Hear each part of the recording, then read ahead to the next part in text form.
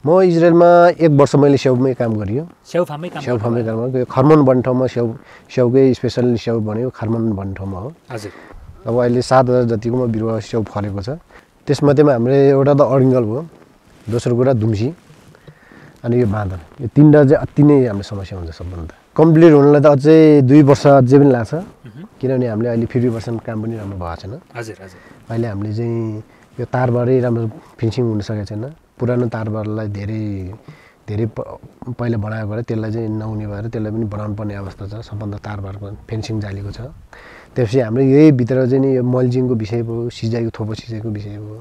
यसलाई चाहिँ जाड नियन्त्रणले हामीले मल्जिङ गर्नुपर्ने हुन्छ। मल्जिङ गर्नुभन्दा हामीले थोपो सिँचाइको चाहिँ प्लान गर्नुपर्ने हुन्छ। त्यसले गर्दा हाम्रो चाहिँ अझै पनि दुई वर्ष अझै पनि लाग्छ हाम्रो। अवश्य यो धेरै च्यालेन्ज छ यसले पहिलादेखि रिसर्च गर्नुपर्ने अवस्था हुन्छ पहिलादेखि एउटा त माटोको परीक्षणको अवस्था आउँछ त्यसपछि आफ्नो आफ्नो जङ्गल चाहिँ कतिको वातावरण छ अब चाहिँ नि जङ्गल हाइटको कुरा आउँछ क्लाइमेट चाहिँ नि कुराहरू आउँछ धेरै कुराहरू आउँछ त्यसलाई चाहिँ रिसर्च गरेर अब त्यसलाई चाहिँ विश्वकीयलाई राखेर चाहिँ कुरा गरेर विश्वकीय हाट गरेर चाहिँ उहाँले सबै कुराहरू चाहिँ रिसर्च गरेर मात्रै काम गर्नु होला भन्ने अनुरोध गर्दछु। रेकर्ड खबर डट कमको अर्को एउटा भिडियो श्रृङ्खलामा तपाईँलाई हार्दिक स्वागत गर्न चाहन्छु म कृष्ण बुढाथोकी। हामीले विभिन्न किसानहरूसँग कुराकानी गर्दै आइरहेका छौँ र यसै क्रममा यति बेला हामी रसुवा जिल्लाको गोसाइकुण्ड गाउँपालिकाको वडा नम्बर पाँचको ब्रावल भन्ने ठाउँमा आइपुगेका छौँ।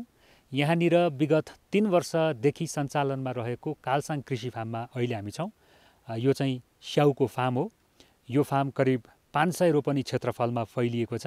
पाँच सय रोपनीमध्ये अहिले दुई सय छयालिस रोपनीमा स्याउको खेती हुँदै आइरहेको छ। र हामीसँग यति बेला यो कालसाङ कृषि फार्मका सञ्चालक सोनाम कालसाङ तामाङ हुनुहुन्छ। उहाँसँग हामी कुराकानी गर्न गइरहेका छौँ। उहाँले यो फार्ममा करिब दस हजार विभिन्न हाइब्रिड अन्तर्गतका चार किसिमका स्याउहरू लगाउनु भएको छ। दस हजार प्लान्टमध्ये अहिले करिब सात हजार प्लान्टमा लटरम्म स्याउहरू फलिरहेको देख्न सकिन्छ र आजको यो कार्यक्रममा चाहिँ हामी विशेष गरेर स्याउ खेती कसरी गर्ने भन्ने विषयमा केन्द्रित रहेर उहाँको आफ्नो अनुभव सुन्नेछौँ र यहाँनिर चाहिँ स्याउ खेती कसरी भइराखेको छ यसलाई बजारीकरण उहाँले कसरी गर्दै हुनुहुन्छ भन्ने लगायतका विषयलाई पनि हामी सर्टमा जोड्नेछौँ। म यस कालसाङ कृषि फार्मका सञ्चालक सोनाम कालसाङ तामाङलाई कार्यक्रममा स्वागत गर्न चाहन्छु। तपाईँलाई कार्यक्रममा स्वागत छ नमस्ते। नमस्ते सर। आराम हुनुहुन्छ? आराम छ सर। सर्वप्रथम हामीलाई यो स्याउ फार्मको भ्रमण गर्ने यहाँको बारेमा जानकारी लिने यसका चाहिँ विभिन्न टेक्निकल कुराहरूको विषयमा जान्ने बुझ्ने अवसर प्रदान गरिदिनु भयो यसको लागि तपाईँलाई धेरै धेरै धन्यवाद दिन चाहन्छु। हजुरलाई पनि धेरै धेरै धन्यवाद। फिल्म फर्म विषय आउने आइदिनु भयो। तपाईँ यो स्याउ खेती गर्नुभन्दा अगाडि पहिला इजरायलमा पनि जानुभएको रहेछ होइन? हजुर। समग्रमा इजरायल बसाइको अनुभव कस्तो छ? इजरायल बसाइ मेरो राम्रै भयो राम्रै अनुभव भयो। त्यहीँकै अनुभवको कारणले मैले यहाँ चाहिँ स्याउ खेती गर्न चाहिँ मैले प्रेरित प्रेरित भयो। र हाम्रो यहाँ समग्र भन्नुपर्दा इजरायलबाट फर्के लगातै म चाहिँ खास गाई फार्मको लागि भन्ने सोचेको थियो त्यो भएन। त्यो नहुन नहुने बित्तिकै म यता आएर गाउँमा आएर गाउँ भिजिट गर्थेँ चाहिँ लगभग बाइस तेइस वर्ष अगाडिदेखि नै हाम्रो बाँझो रहिरहेको यो खेती। खेतीयोग्य जमिन थियो। सबैजना चाहिँ कोही विदेश कोही कता गएर यो बाँझो रहिरहेको थियो। त्यसलाई चाहिँ सदुपयोग गरौँ भन्ने हिसाबले मैले चाहिँ यो प्लान सोचेँ। यो प्लान सोचे अनुसार यो हाइब्रिड जातको चाहिँ रोप्नुपर्ने भएर चाहिँ पुरानो हाम्रो पहिलेदेखि पुर परापूर्वकालदेखि नै हाम्रो मेन खेती भनेको बाली भनेको स्याउ र आलु हो। अल्पनिर्वाह हुने नै स्याउ र आलुबाट हो। त्यही कारणले नै मैले यो चाहिँ नि बाँझो भइरहेको खेतलाई सदुपयोग गरौँ भनेर हाइब्रिड जातको चाहिँ मैले इटालीबाट मगाएर यो स्याउ रोप्ने चाहिँ नि अभियान चलायौँ। चलाएअनुसार मैले लगभग बाह्र हजार बिरुवा ल्याएको थियो बाह्र हजार बिरुवा पनि मैले गाउँलेलाई बाँडिदिउँ दुई हजार गाउँलेलाई बाँडिदियो त्यसरी दस हजार मैले रोपेको थिएँ दस हजारमा केही बिरुवा चाहिँ नष्ट भएको छ मरेको छ। अहिले लगभग लगभग मेरो आठ हजार चान्जुन बिरुवा छ। अब अहिले सात हजार जतिकोमा बिरुवा स्याउ फलेको छ। तपाईँ इजरायलमा चाहिँ के गर्नुहुन्थ्यो? म इजरायलमा एक वर्ष मैले स्याउमै काम गरियो। स्याउ फार्मै? काम गरेँ खर्मन भन्ने ठाउँमा स्याउ स्याउकै स्पेसल स्याउ भनेको खर्मन भन्ने ठाउँमा हो। हजुर। उहाँ चाहिँ कृत्रिमबाट नै स्याउ खेती गराइन्छ। त्यहाँ एक वर्ष काम गऱ्यौँ दोस्रो वर्ष मैले चाहिँ चार वर्ष चाहिँ गाई फार्ममा काम गऱ्यौँ त्यसपछि म लगातार चाहिँ नि एक वर्ष केयरकिपरमा काम गरेँ र छ वर्ष अवधिमा मैले फर्कियो नेपाल फर्किनु यो कति वर्ष अगाडिको कुरा गर्दै हुनुहुन्छ? यो दुई हजार नौमा म गएको हुँ। दुई हजार नौमा गयो। दुई हजार नौमा गएर म चाहिँ नि दुई हजार सोह्रमा सोह्र अन्तिममा फर्किएको हो। छ वर्ष त्यहाँनिर हुँदाखेरि इजरायलमा बस्दाखेरि सि सिकेको सिप हजुर। देखेको अनुभवलाई नेपाल फर्केर सदुपयोग गर्ने तपाईँ प्रयासमा हुनुहुन्थ्यो। त्यो अन्तर्गत कि त स्याउमा जाने कि त गाई पाल्ने भन्ने तपाईँको लक्ष्य थियो। हजुर। तर तपाईँले गाईलाई त्यागेर स्याउ रोज्नुभयो हजुर। स्याउ नै किन रोज्नुभयो त? स्याउ नै रोप्ने कारण चाहिँ आफ्नो एउटा गाउँ पनि भयो पुर्काली एउटा गाउँ पनि भयो। किनभने अब गाई फार्म राख्दाखेरि चाहिँ तल नुवाकोटमा राख्नुपर्ने थियो यहाँ चाहिँ असम्भव थियो। यहाँ अब चाहिँ त्यत्रो चाहिँ जमिन बाँझो भइसकेको थियो। अब पन् पन्ध्र बिस बाइस बाइस बाइस तेइस वर्षदेखि नै यो बाँझो रहिरहेको भएर यसलाई चाहिँ सदुपयोग गरौँ भन्ने हिसाबले मैले यो आफ्नै गाउँमा आफ्नै ठाउँलाई चाहिँ सदुपयोग राम्रो होस् भन्ने चाहनाले मैले चाहिँ राम्रो आम्दानी दिन सक्यो भने गाउँलाई नै राम्रो हुन्छ आफूलाई पनि राम्रो हुन्छ केही राम्रो हुन्छ भन्ने हिसाबले मैले यो गाउँ नै रोचेको हो. यहाँ पहिले स्थानीय रूपमा यहीँ हुर्काइएका प्लान्टहरूबाट पनि स्याउको खेती हुँदै हजुर। पहिलादेखि। हजुर तर अहिले ती सबै स्थानीय बिरुवाहरूलाई मासेर हाइब्रिड जातको स्याउहरू लगाउनु भएको छ तपाईँहरूले हजुर सर। स्थानीय बिरुवा त लगभग छँदै छैन भन्दा पनि। स्थानीय बिरुवा अब छैन। स्थानीय बिरुवाले चाहिँ हामीले त्यसलाई विस्थापित गरेर यो नयाँ हाइब्रिड जातको चाहिँ इटालीबाट मगाएर रोपिएको हो। पक्कै पनि स्थानीय बिरुवाहरू चाहिँ अब हुर्किन बढ्न पनि समय लाग्ने करिब चार पाँच वर्ष लाग्छ यो स्थानीय छिटो उत्पादन पनि भयो। त्यो हिसाबले तपाईँहरूले आम्दानीलाई हेरेर र प्रोडक्सनका हिसाबले पनि यो हाइब्रिड जातलाई रोज्नु भयो। हजुर सर। के अन्य छन् कारण? यही नै हो। यो भयो भने चाहिँ हाम्रो चाहिँ दुई वर्षमा चाहिँ आम्दानी फल्नु हुने भयो। अब पुरानो जातको रोप्दै पाँच वर्ष त अनिवार्य लाग्ने भयो। पाँच वर्ष हामीले अहिले तत्कालै बेनिफिट लिन नसक्ने भएपछि लगानी पनि ठुलो छ यसमा। त्यही भएर हामीले हाइब्रिड लाउनु पर्ने चाहिँ बाध्यता चाहिँ आएको। सबै बिरुवाहरू इटालीबाटै ल्याउनु भयो? सबै इटालीबाटै ल्याएको। डाइरेक्ट इटालीबाटै आएका डाइरेक्ट इटालीबाटै आएको हो। बिरुवा चाहिँ। ए। आज चाहिँ हामी तपाईँले यो स्याउ खेती सञ्चालन गर्दै गर्दाखेरि स्याउ रोप्दै गर्दाखेरि सुरुदेखि आजको दिनसम्म के कस्ता अनुभवहरू सङ्कलन गर्नुभएको छ? विशेष गरेर स्याउ खेती कसरी गर्ने कसरी गर्दाखेरि चाहिँ राम्रो हुँदो रहेछ? यसका चुनौतीका कुराहरू समस्याहरू के रहेछन्? त्यसका समाधानका उपायहरू के रहेछन्? भन्ने लगायतका अलिकति यो प्राविधिक विषयहरूमा तपाईँको अनुभव सुन्न गइरहेका छौँ होइन? त्यसै अन्तर्गत सबैभन्दा सुरुमा चाहिँ यो स्याउ रोप्नुभन्दा अगाडि चाहिँ तपाईँले के कसरी यो जग्गाको तयारी गर्नुभयो? रोप्नुभन्दा अगाडिका पूर्व तयारीहरू चाहिँ तपाईँले के के गर्नुभएको थियो? के के गर्नु पर्दो रहेछ? अब यो पहिला हामीले चाहिँ लकडाउनको अवस्थाले गर्दा हामीले यहाँ चाहिँ धेरै प्लान्टेसनहरू गर्न पाएन। हजुर हजुर। लकडाउन भयो त्यो हामीले स्याउ ल्याउने टाइममा चाहिँ। लगभग लगभग स्याउ पनि हामीले हरायो भन्ने समय पुगिसक्यो। चार महिनासम्म हाम्रो चाहिँ जुन स्याउ ल्याउने चाहिँ अर्डर गरिसकेर चार महिनापछि आइपुग्यो। चार महिनापछि आउँदा साउनको अन्तिम चरणमा आइपुग्यो। त्यहाँबाट हामीले प्लान्टेसन पहिला जुन प्लान गर्ने हिसाब थियो त्यो प्लानको भने जस्तो हाम्रो भएन। त्यही पनि हामीले चाहिँ यसलाई चाहिँ जस्तो छ त्यस्तैमै हामीले रोप्ने प्रयास गऱ्यौँ। रोप्ने प्रयास गर्दै हामीले यो चाहिँ एक फिट गहिरोमा खनेर र चाहिँ ऊ चाहिँ डिभाइड चाहिँ एक फिटको अझ एक मिटरको दुरीमा रोप्नुपर्ने भएको। हजुर। यो हाइब्रिड जातको चाहिँ त्यो धेरै च्यालेन्जहरू छ। अब यसलाई चाहिँ धेरै कुरा मलजलदेखि लिएर सिँचाइदेखि लिएर। धेरै समस्याहरू छ। अब हामीले चाहिँ यो ल्याएर अब हामीले जुन इटालीबाट ल्याएर डाइरेक्ट यहाँ आइपुगेपछि असारको अन्तिममा आइपुग्यो रोप्यौँ। पानीभित्र जडीमा रोप्यौँ। रोपेर हामीले चाहिँ अहिलेसम्म यो तिन वर्ष पुग्यो। अब अस्ति असारमा चाहिँ तिन वर्ष ठ्याक्कै पुग्यो। जस्तो यो जग्गाको चाहिँ अब तयारी गर्दाखेरि अब यहाँ चाहिँ पहिला परम्परागत खेती हुँदै आएको थियो होइन?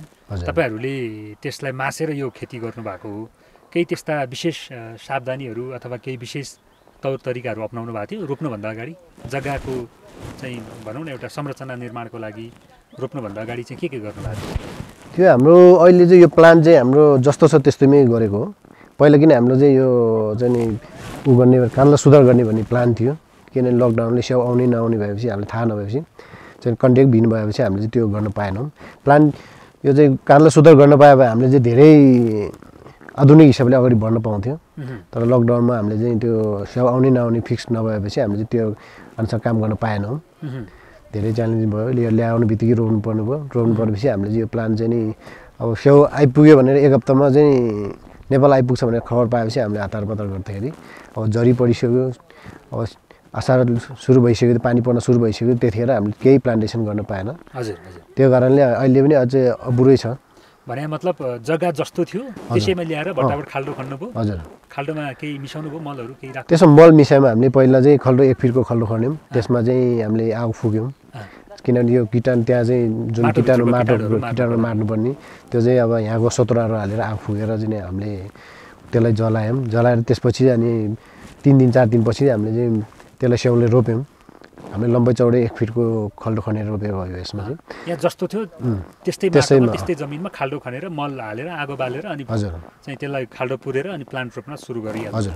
अरू त्यस्तो विशेष केही विशेष केही छैन हाम्रो। त्यस्तो केही गरेको अब माटो परीक्षण त गर्नु जरुरतै थिएन होला किनभने यहाँ स्थानीय रूपमा पनि भइरहेको थियो स्याउ त होइन।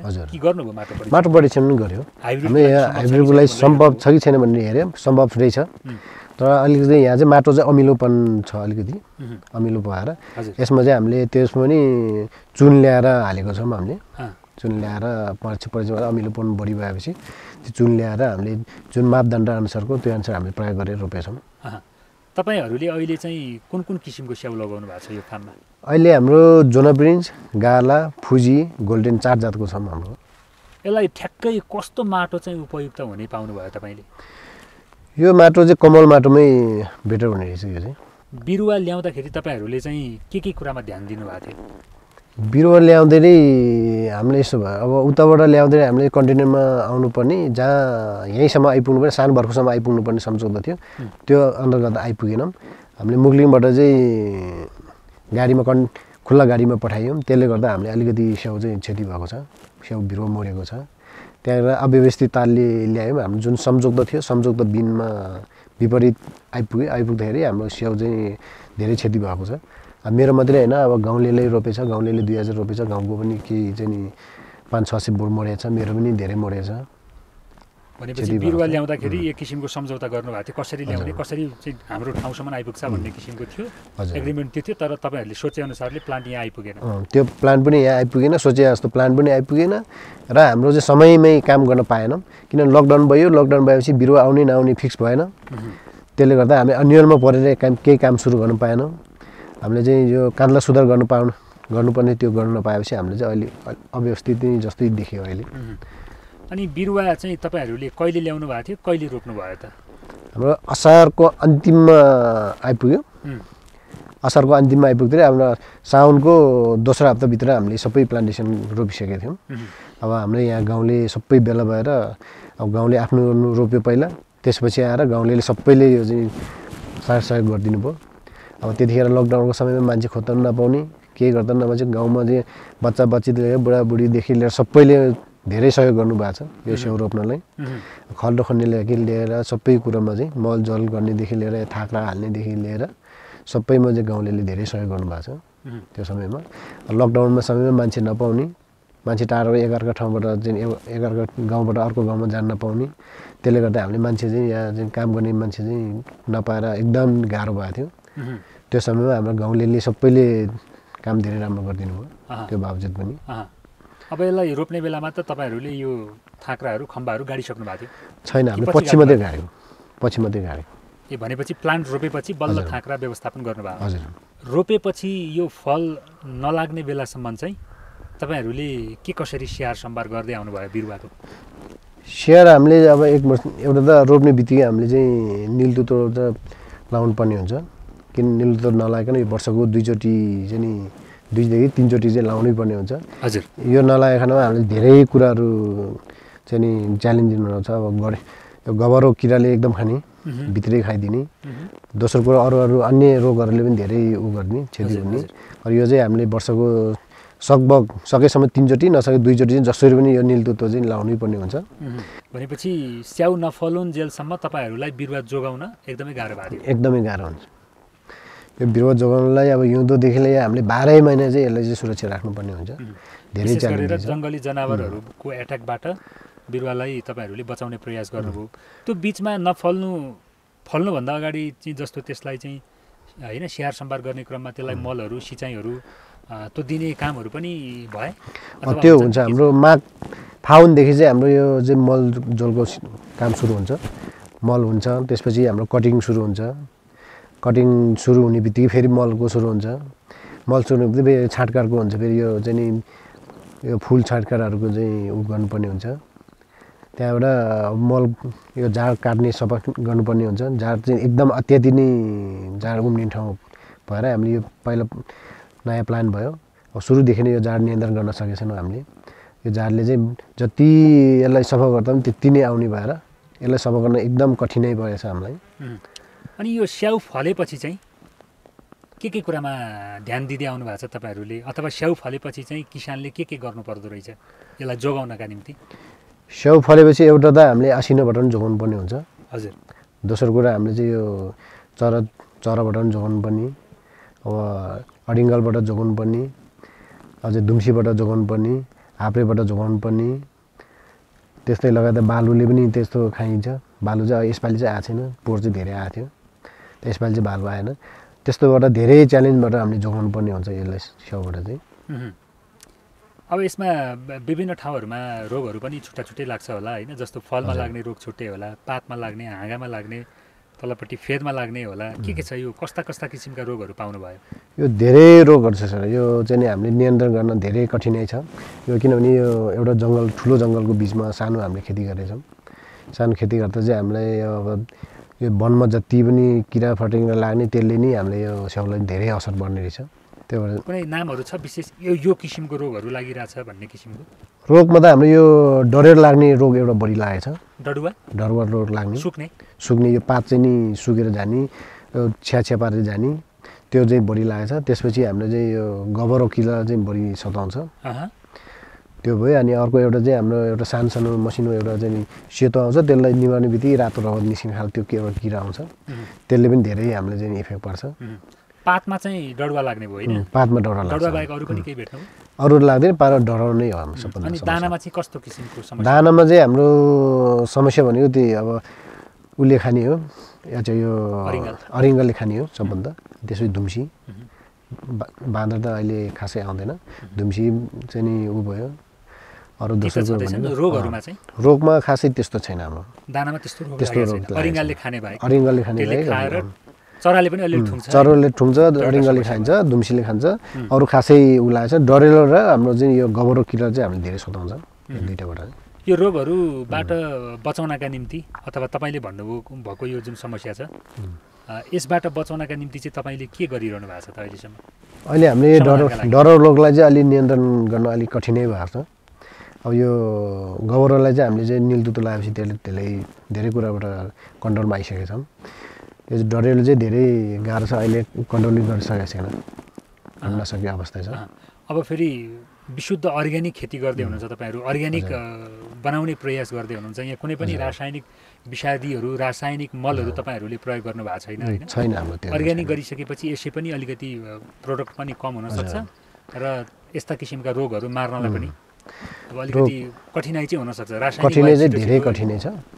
अब यसलाई चाहिँ हाम्रो चाहिँ यो ग- गाई बस्तुको चाहिँ मल प्रयोग गर्नुपर्ने हुन्छ त्यही त्यही गर्दा पनि धेरै चाहिँ झार उम्रिने समस्या हुने। त्यसले चाहिँ किराहरू बढी उत्पादन हुने समस्या हुने अर्ग्यानिक मलमा चाहिँ अर्ग्यानिक बनाउनलाई चाहिँ। अब अर्ग्यानिक बनाउनलाई गाई बस्तु मल प्रयोग गरेन भने हुँदैन। त्यो प्रयोग गर्नु पर्दैन। हामीले चाहिँ धेरै रोगहरू चाहिँ समस्या हुने। अब झार धेरै सबभन्दा त झार बढी उम्रिने त्यो गोबर प्रयोग गरेपछि। दोस्रो कुरा हामीले त्यसको किटाणुहरूबाट पनि धेरै कुरा चाहिँ इफेक्ट पर्ने भएको त्यस्तो समस्या छ धेरै। अब तपाईँले अघिदेखि नै हामीलाई यो झारको व्यवस्थापनको एउटा कठिनाइको कुरा पनि सेयर गर्नुभयो। अब करिब दुई सय छयालिस रोपनीमा फैलिएको यो फार्ममा झारै मात्र टिपेर काटेर बस्ने हो भने यहाँ चाहिँ धेरै मान्छेहरूको आवश्यकता पर्छ। अब त्यसमा चाहिँ लगानीको पनि कुरा आउँछ होइन? फेरि जनशक्तिको पनि कुरा आउँछ। यसै पनि यो ठाउँमा अब श्रम गर्न सक्ने त्यति धेरै मान्छेहरू हुनुहुन्न। त्यहाँमाथि फेरि अब लगानी झारको लागि मात्रै त्यति धेरै खर्च गर्ने अवस्था पनि छैन किनभने फार्म ठुलो छ तपाईँको। अब बर्खाको समयमा जति काट्यो त्यति पलाउँदै आउँछ यो त होइन। यो पनि एउटा स्याउ खेती गर्ने किसानको यो क्षेत्रमा प्रमुख समस्या देखियो। प्रमुख समस्या नै हो यसलाई यसले केही उत्पादनमा रास ल्याएको पाउनु भएको छ? यो झारले। झारले उत्पादनमा त धेरै नै समस्या दिन्छ हामीलाई।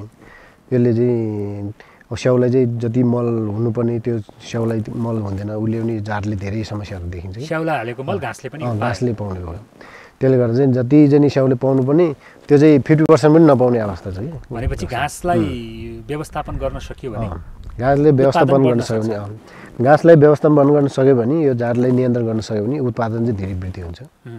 कि डबलै हुनसक्छ? डबलै त नभनौँ तर सेभेन्टी त्यस्तैमा हुन आउँछ। Seventy percent. सेभेन्टी पर्सेन्ट चाहिँ राम्रो हुन आउँछ यसमा हन्ड्रेडमा seventy percent seventy. Percent sixty percent चाहिँ धेरै राम्रो हुन आउँछ किनभने यो झार मात्रै नियन्त्रण गरेर पनि भएन यहाँ क्लाइमेटको कुराहरू हुन्छ। हजुर हजुर। अब यहाँ धेरै कुराहरू निस्किन्छन्। अब चाहिँ यो चा अरू च्यालेन्जिङहरू धेरै कुराहरू छन्। सबै कुराबाट जोगिनुपर्छ। अहँ। जोगिनु पर्दा हामीले चाहिँ नि सिक्सटी सेभेन्टी पर्सेन्ट चाहिँ हाम्रो चाहिँ राम्रो उत्पादन चाहिँ हुने देखिन्छ। अनि यो समस्याकै कुरामा तपाईँले अरिङ्गाल दुम्सी हाब्रे बाँदर मृग होइन यो बँदेल अनि यो चराहरूले ठुँगेर खाइदिने अनि कहिलेकाहीँ चाहिँ अब भालु पनि आउने भन्ने किसिमको चाहिँ कुरा पनि गर्नुभयो। फेरि यो अब एउटा चाहिँ राष्ट्रिय निकुञ्जको क्षेत्र पनि हो होइन। लाङटाङ राष्ट्रिय निकुञ्जभित्र छौँ हामी यति बेला चाहिँ। यस्ता विषयहरूबाट अथवा यो किसिमको समस्याबाट चाहिँ मुक्ति लिन चाहिँ अलिक गाह्रै छ। धेरै गाह्रो छ। धेरै गाह्रो पनि छ कठिनाइ पनि छ। यो मुक्ति लिनु किनभने हाम्रो यो फार्म चाहिँ यहाँ ठाउँ मात्रै भएको हुनाले यो ठुलो जङ्गलको बिचमा चाहिँ सानो एउटा खेती गरेको भएर यसलाई चाहिँ धेरै च्यालेन्जिङ छ अब सबै यो नियन्त्रण गर्न नि गाह्रो छ। किन राष्ट्रिय निकुञ्जले पनि यसलाई चाहिँ नि प्राथमिकता राखेको छैन। धेरै उयोहरू छ। यहाँबाट चाहिँ धेरै छुटकारा पाउन धेरै गाह्रो छ. सबभन्दा बढी अहिले भनेका यी जीव जनावरमध्ये सबैभन्दा धेरै यहाँ आएर दुःख दिने फलहरू मास दिने खाइदिने चाहिँ सबभन्दा बढी कुन जीव जनावर हो? त्यसमध्येमा हाम्रो एउटा त अरिङ्गल भयो दोस्रो कुरा दुम्सी अनि यो बाँदर। यो तिनवटा चाहिँ अति नै हाम्रो समस्या हुन्छ सबभन्दा। यो चाहिँ तिनवटा चाहिँ दुम्सी राति आउँछ हामी त्यसलाई हेर्न सक्दैनौँ। बाँदर दिउँसो आउँछ दिउँसो कतिखेर आइपुग्छ कहाँ आइपुग्छ पाँच मिनटमै आँखा झिमुक्क हुने बित्तिकै सिधिया हुन्छ। अब यसले चाहिँ धेरै इफेक्ट पार्छ। यो चरालाई अब एक ठाउँमा उडेर जान्छ अर्को ठाउँमा गएर बस्छ अर्को ठाउँमा लखेर अर्को ठाउँमा गएर बस्छ। त्यसले पनि धेरै समस्या छ। अरिङ्गलले अब त्यो दबाएर नि नसक्ने अवस्था छ। अरिङ्गल पनि त्यस्तै छ। अब एक ठाउँमा माऱ्यो अर्को ठाउँमा हुन्छ। त्यो चाहिँ हजारौँ लाखौँ करोडौँ सङ्ख्याको अरिङ्गल हुन्छ। त्यहाँबाट चाहिँ धेरै हामीले पाउनु चाहिँ धेरै असम्भव छ. यो पनि प्रमुख चुनौती छ यति बेला। ब्रावलका किसानहरूको। तपाईँको मात्र होइन अरूको पनि यो हामी समग्र सबैको त्यही समस्या नै छ अहिलेसम्म. अनि बजारीकरणको अवस्था चाहिँ कस्तो छ? उत्पादित यो स्याउहरूले बजार पाएको छ? अहिले यस्तो हो हाम्रो उत्पादन नहुने मात्रै उत्पादन भयो भने त हामीलाई चाहिँ यो एउटा गोसेगुन्टाको मेलाको यात्राले गर्दा हामीलाई चाहिँ त्यो स्याउजाले चाहिँ खासै बजारी चाहिँ यति समस्याहरू चाहिँ नहुने। हाम्रो यो एरियामा स्याउ फल्ने भनेको हाम्रो यही ब्राभल मात्रै हो। ब्राभल र दुन्चेमा थोरै छ। हामी सँगै नै लिएर आएको हो। मैले नै अगुवाई गरेर लिएर आएको दुन्चेम पनि हजार बोट जति छ। उहाँ पनि थोरै छ। हाम्रो यहाँको स्याउले त हाम्रो यही लोकल बजारलाई नै कफी छ हामीले यो लोकल बजारलाई नै पुऱ्याउन नसक्ने अवस्था छ। भनेपछि बजारको कुनै टेन्सन छैन। हाम्रो बजारको लागि कुनै समस्या छैन। सबभन्दा उत्पादन गर्ने नै हाम्रो धेरै च्यालेन्जिङ हो। उत्पादन गरेर त्यसलाई चाहिँ कलेक्सन गर्नलाई। प्रमुख चुनौती हो। पर्ने कुरा पनि त्यही नै हाम्रो कलेक्सन गर्नु उत्पादन गर्नु पनि ठुलो कुरा हो. हामी यो समुद्री सतहबाट कति उचाइमा छौँ? हाम्रो तेइस सयमा धाराहरू छ तेइस सयमा छौँ। तेइस सय अनि यो समग्र यहाँको वातावरण चाहिँ कस्तो छ? वातावरण ठिकै छ त्यति हाम्रो स्याउलाई चाहिँ त्यति इफेक्ट पनि छैन त्यति सुटेबल भएको पनि छैन यसलाई चाहिँ नर्मल लिनुपर्छ हामीले। ठिकै छ। ठिकै छ अहिलेसम्म। हाम्रो चाहिँ मुस्ताङ र यो हुम्ला जुम्ला जतिकोमा चाहिँ हामीले त्यो कुनैले पनि हामीले काम गर्न सक्दैन। उहाँको वातावरण भनेको स्याउलाई मात्रै हुने हो। तर यहाँ हामीले चाहिँ यहाँ चाहिँ पुर्खौलीदेखि गरिआएको हाम्रो चाहिँ पहिला पुर्खौलीदेखि नै आत्मनिर्भर यो स्याउ र आलुले नै गरेर आएको भएर हामीले चाहिँ यसलाई नै नियन्त्रण दिएको हो। र यसलाई हामीले त्यति नराम्रो भन्न मिल्दैन। राम्रो कलर पनि राम्रै आएको छ। क्लाइमेट त अब खासै धेरै हन्ड्रेड पर्सेन्ट युज चाहिँ नि राम्रो त होइन। तर हामीले चाहिँ फिफ्टीमा चाहिँ क्लाइमेट चाहिँ राम्रै भन्नुपर्छ। फिफ्टी पर्सेन्टमा। स्वाद चाहिँ कस्तो पाउनु भएको छ च्याउको स्वाद हाम्रो राम्रै छ यसमा। चार अर्ग्यानिक जात हो। छन् फरक फरक हुन्छ। फरक त, जात? छ। तर पनि सोचेअनुसारको टेस्ट भेट्नु भएको छ। सोचेअनुसार टेस्ट चाहिँ छ तर यो पानीले गर्दा हामीले चाहिँ यसलाई चाहिँ ऊ हेलनेट लगाउन नसकेको कारणले त्यसमा स्वादमा चाहिँ अलिक थोरै चाहिँ डिफ्रेन्ट आउँछ. थोरै चाहिँ डिफ्रेन्ट डिफ्रेन्ट आउँछ किनभने यो पानीले भिजेको हुनाले।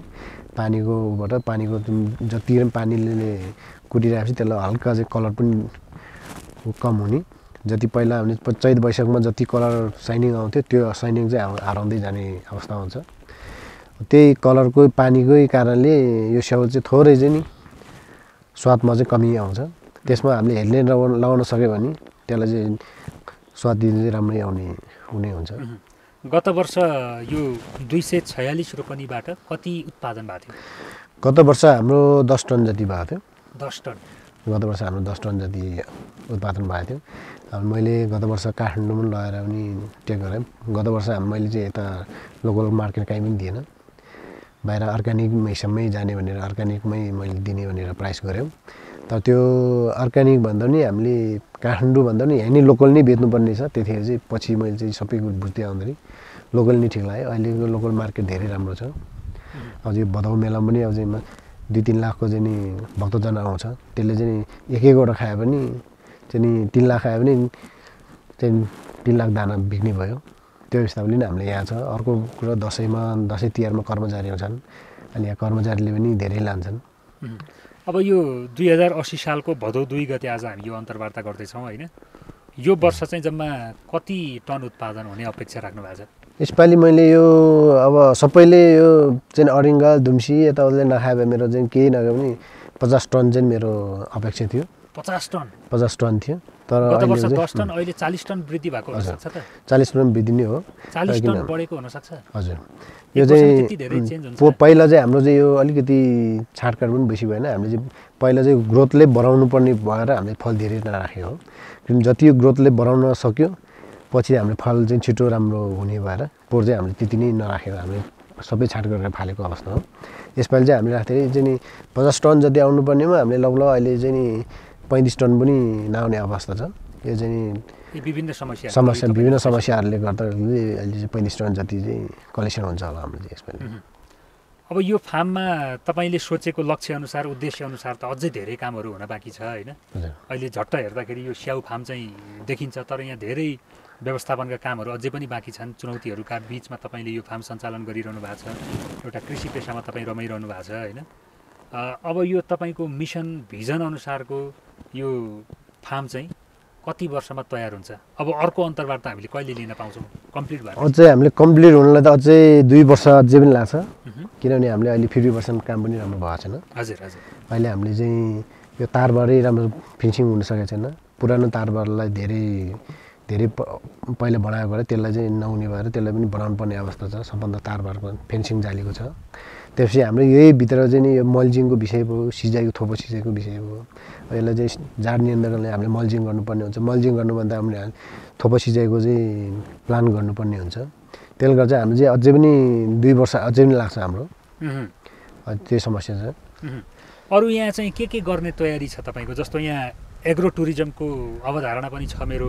यहाँ टुरिस्टहरू ल्याउने यो स्याउ बगानमा चाहिँ शुल्क लिएर चाहिँ टुरिस्टहरूलाई घुमाउने छिर्न दिने। जति खान्छन् खान्छन् भन्ने किसिमको मेरो चाहिँ सोच पनि छ छिराइसकेपछि भन्ने यो किसिमको अलिकति कुराहरू भनिदिनु त।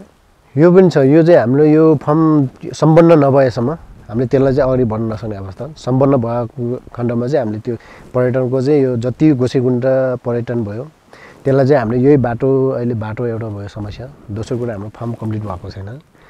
यो दुइटालाई अनि तेस्रो कुरा हाम्रो फार्मको चाहिँ फार्म हाउसको लागि चाहिँ हाम्रो चाहिँ संरचना बनिसकेको छैन। र संरचना संरचना भएको खण्डमा र यो फर्म चाहिँ नि कम्प्लिट भएको र बाटो राम्रो भएको खण्डमा हामीले कोसेगुन्डा जति मेला लाग्ने मेला जा जात्रु जति जानुहुन्छ यात्रुहरू त्यसलाई चाहिँ हामीले यही बाटोबाट प्रवेश गराएर एक वान नाइट चाहिँ यतै नै स्टे गराएर पठाउँ भन्ने हाम्रो सोच अन्तिम लक्ष्य। अन्तिम लक्ष्य नै। सम्पूर्ण तयारी भइसकेपछि हजुर। संरचनाहरू सबै रेडी भइसकेपछि अन्तिमको तपाईँको उद्देश्य भने त्यही हो। हजुर सर। हाम्रो अन्तिम उद्देश्य त्यही हो अन्तिम। हुन्छ अब हामीले अहिले चाहिँ यो जस्तो छ त्यस्तै देखायौँ होइन? सर्वप्रथम त तपाईँले हामीलाई यो एउटा चाहिँ खिच्ने यहाँका सम्पूर्ण विषयहरूमा जानकारी चाहिँ लिने एउटा यो वातावरण सृजना गरिदिनु भयो। यसको लागि त तपाईँलाई म फेरि पनि हृदयदेखि नै धन्यवाद दिन चाहन्छु। अब अन्तिममा स्याउ खेती गर्न चाहने सम्पूर्ण नेपाली किसानहरू जसलाई भूगोलले साथ दिएको छ माटोले साथ दिएको छ होइन? हावापानीले साथ दिएको छ भने उहाँहरूले खेती गर्ने इच्छा राख्नु भएको छ भने के भन्नुहुन्छ अन्तिममा? अब यो धेरै च्यालेन्ज छ। यसले पहिलादेखि रिसर्च गर्नुपर्ने अवस्था हुन्छ पहिलादेखि एउटा त माटोको परीक्षणको अवस्था आउँछ। त्यसपछि आफ्नो आफ्नो जङ्गल चाहिँ कतिको वातावरण छ। अब चाहिँ नि जङ्गल हाइटको कुरा आउँछ। क्लाइमेट चाहिँ नि कुराहरू आउँछ। धेरै कुराहरू आउँछ। त्यसलाई चाहिँ रिसर्च गरेर अब त्यसलाई चाहिँ विशेषज्ञलाई राखेर चाहिँ कुरा गरेर विशेषज्ञ हाट गरेर चाहिँ उहाँले सबै कुराहरू चाहिँ नि रिसर्च गरेर मात्रै काम गर्नु होला भन्ने अनुरोध गर्दछु। हस् समय दिनुभयो। यहाँलाई धेरै धेरै धन्यवाद। हस् थ्याङ्क यू हजुरले बिजी गरिदिनु भयो हजुरले यति प्रसारण गरिदिनु भयो धेरै धेरै धन्यवाद हजुरलाई। Thank you so much